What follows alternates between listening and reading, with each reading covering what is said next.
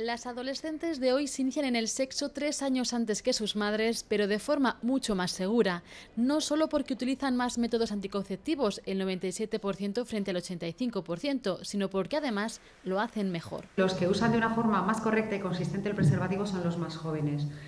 Eso es un dato muy importante que además vemos cómo va mejorando, es decir, subiendo en cada encuesta el buen uso. Aún así, sigue existiendo un 10 por mil de embarazos no deseados en adolescentes y en siete años el uso de la píldora del día después se ha duplicado entre las mujeres en edad fértil. ha subido, entre otras cosas, también pues, por la libre, el libre acceso que tienen en las farmacias, como sabéis, a la anticoncepción de urgencia eh, sin prescripción. Las mujeres prefieren el preservativo muy por encima de métodos de larga duración reversible como el implante o el DIU, que para la Fundación Española de la Contracepción deberían estar más presentes. En poblaciones donde el, cumplimiento es importante, que pueden ser los jóvenes, donde tomar una pastilla diaria o cambiar o comprarse su anillo cada, cada mes puede ser dificultoso, estos métodos aportan el, hecho de que la adherencia al método. A pesar de los anticonceptivos disponibles, aún el 7 ciento de las mujeres se expone a un embarazo no deseado en España.